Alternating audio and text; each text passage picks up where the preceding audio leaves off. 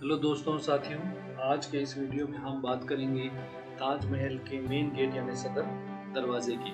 तो ये आप देख रहे हैं कि इतना खूबसूरत और बेहतरीन जो है ये मेन गेट है, या सदर दरवाज़ा है, और यहाँ तक जाने के लिए हमको जो है और तीन दरवाजे हैं। ये आप देख रहे हैं, ये वेस्ट गेट जहाँ से यूजुअली विजिटर्स जो है एंट्री करते हैं। और इसी के साथ ये जो है साउथ गेट है, जिसके बाहर कदीम आगरा शहर बसा हुआ है और उसके पहले जो है वहाँ पर कारवान आके रुकते थे।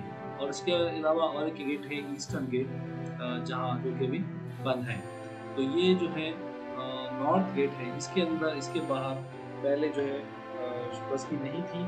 ताजमहल जब जो बना था तो कारवान आकर वहाँ पर रुकते थे। बाहर मुल्कों से भी लोग आते थे और वहाँ पर रुकते थे और वहाँ से जो है ताजमहल के अंदर आते थे। तो ये ताजमहल का जो मेन गेट है, सदर दरवाज़ा है। इसकी जो डायमेंशन है, वो 41 मीटर्स बाय 34 मीटर्स है और इसकी हाइट जो है वो 23 मीटर्स है। ये स्ट्रक्चर जो है 23 मीटर्स हाइट है। आप देख रहे हैं कि आपको यहाँ से ताजमहल नज़र आ रहा है। ताजमहल का कुछ हिस्सा आपको नज़र आ रहा है। जो इंट्रेंस वाला पार्ट है, वो नज़र आ आपको पूरा ताजमहल यहाँ से नज़र नहीं आ रहा है। ये इस गेट की ख़ास बात है कि आप जब इस गेट की तरफ़ बढ़ते हैं तो आपको ताजमहल बहुत बड़ा नज़र आता है।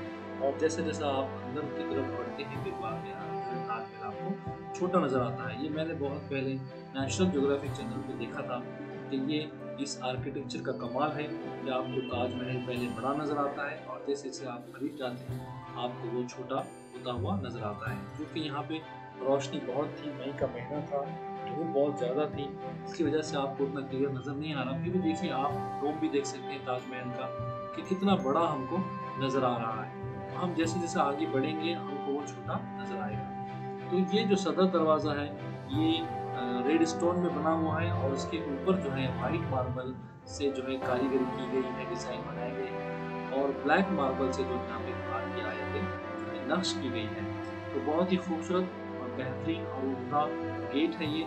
एक शानदार शाहकार है, मुगल आर्किटेक्चर का। ये सदर देखिए, आप देख देख रहे हैं कि आपको ताजमहल कितना छोटा नज़र आ रहा है, क्योंकि आप जब गेट के अंदर से जो है ताजमहल के अंदर जाने वाले हैं तो आपको जो है ताजमहल छोटा नज़र आएगा, दूर नज़र आएगा। और आप जब गेट के बाहर होते हैं तो आपको ताजमहल जो है, बहुत बड़ा नज़र आता है। तो ये बहुत ही बेहतरीन और खूबसूरत गेट है। इस गेट के ऊपर छोटे छोटे बाईस गुंबद बनाए गए हैं। तो ये बताते हैं कि ताजमहल को बनाने के लिए तकरीबन 22 साल का वक्फा और टाइम लगा था। तो ये गेट बहुत ही खूबसूरत है, बहुत ही बेहतरीन है। और इस गेट को जाने के लिए जो है और इसके अलावा तीन गेट भी है।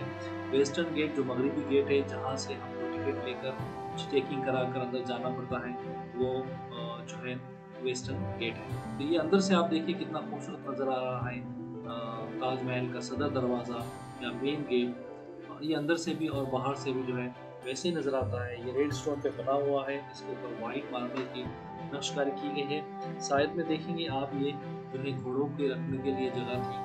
और यहाँ पर जो है तकरीबन 16 गार्डन है और जो है बहुत सारे फवारे भी हैं। तो बहुत ही खूबसूरत सदर दरवाज़ा आपको मैं उम्मीद करता हूँ कि ये वीडियो पसंद आएगा। आगे की वीडियो में हम ताजमहल को देखेंगे। उसके अंदर जो मस्जिद है और मेहमान खाना देख, देखेंगे। तो मेरे चैनल को सब्सक्राइब कीजिए लाइक कीजिए और आपको जो है ग्रुप्स में इसको शेयर कीजिए। बहुत बहुत शुक्रिया आपका इस वीडियो को देखने का।